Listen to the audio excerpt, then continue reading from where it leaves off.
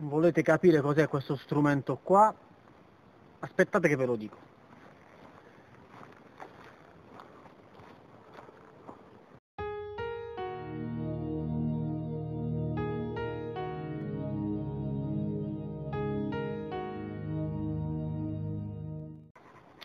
Ok, uno degli strumenti fondamentali per quanto riguarda la navigazione terrestre, soprattutto in campo militare, è un contapassi, che è questo strumento qua.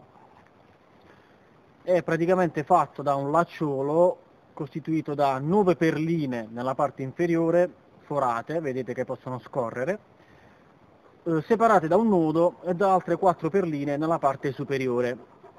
Con queste si indicano ehm, le centinaia di metri, con queste i chilometri percorsi. Quindi ogni 100 metri si abbassa una perlina, 100, 200, 300, 400, 5, 6, 7, 8, 9, un chilometro e riparto.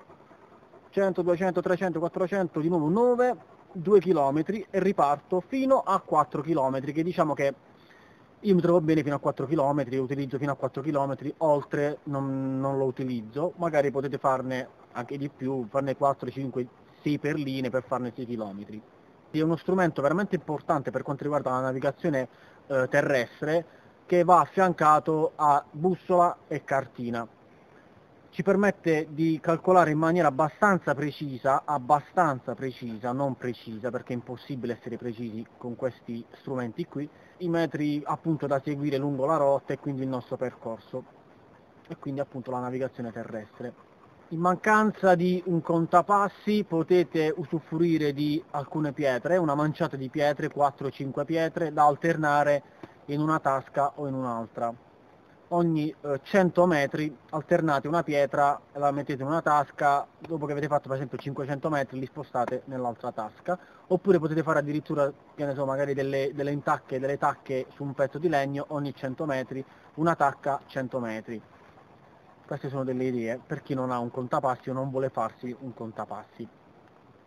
Io per semplicità lo utilizzo, ce l'ho qui attaccato allo zaino e lo utilizzo quando calcolo la mia rotta. Ho visto video su internet in cui si dice praticamente che ogni 100 metri, ogni 100 passi facciamo 100 metri, non è assolutamente così, perché mh, soprattutto in zone boschive, in zone montuose, il tutto dipende principalmente dal tipo di terreno, dal passo dell'operatore e dall'equipaggiamento che indossiamo. Quindi l'operazione fondamentale nel, nell'utilizzo di un contapassi è il settarlo in maniera eh, precisa preventivamente la nostra navigazione.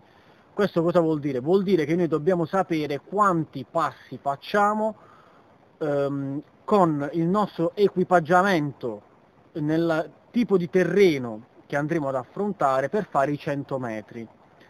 Come potete vedere qui ho una strada pianeggiante che io ho già calcolato con una, con una corda lunga 100 metri, ho già calcolato i miei passi, ora vi mostrerò come ho fatto.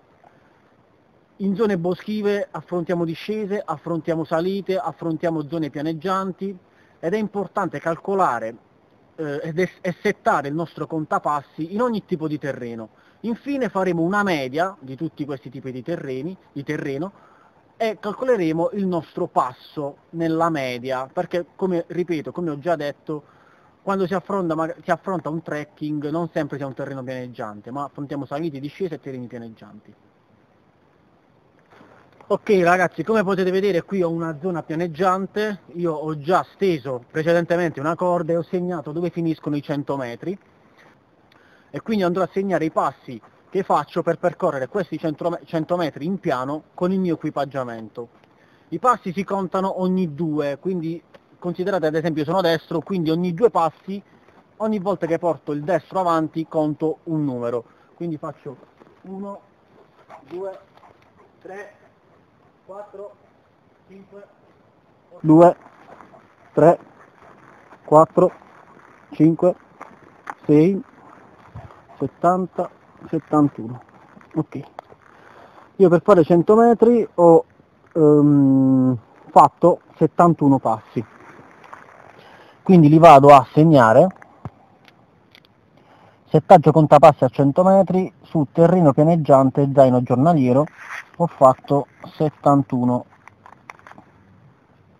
71 passi vado a fare la stessa procedura su terreno in discesa e in salita.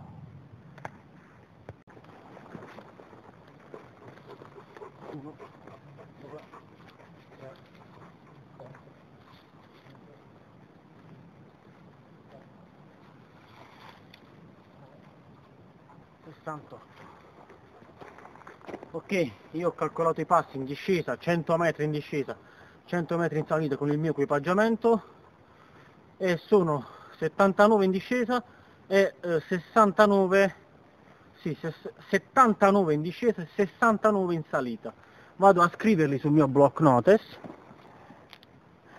ok in discesa zaino giornaliero 79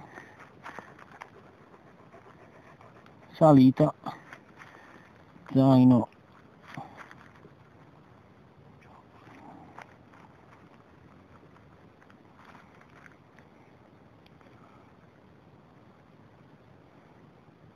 erano 70 passi, no 69 70 passi.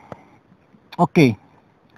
Ora faccio la media di questi numeri sommandoli e poi dividendoli per 3, quindi sommati vengo, viene 220 diviso 3 ho un passo di 73,3 periodico. Quindi io so che il mio modo di camminare contando ogni due passi, quindi ogni, volta che, ogni volta che porto la gamba destra avanti per me è un passo come vi ho mostrato prima, so che ogni 73 passi faccio 100 metri. Questo è il mio passo con il mio equipaggiamento. Ok ragazzi, questo è come settare un contapassi. Ripeto, è un'operazione fondamentale se si ha intenzione di contare i passi e di utilizzare un contapassi, perché altrimenti non riusciremo a calcolarci bene la nostra rotta e il nostro percorso e quanto, quanto, quanti metri avremmo percorso. Ok, questo è tutto il video, spero abbiate imparato qualcosa, mi raccomando um, studiate bene queste tecniche perché poi vi serviranno perché farò un video finale per quanto riguarda l'argomento cartografia e topografia ed orientamento, farò un video finale in cui mostrerò eh, praticamente una prova pratica di navigazione terrestre in cui andrò ad applicare tutte queste tecniche che vi sto mostrando. Quindi se avete domande fatemele, eh, mi raccomando studiate perché la cartografia è importantissima, è anche una bellissima materia. E niente ragazzi, io vi saluto e vi aspetto al prossimo video. Ciao!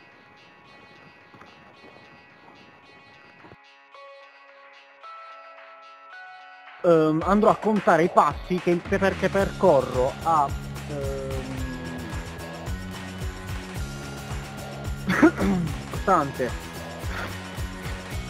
scusate il termine una cagata pazzesca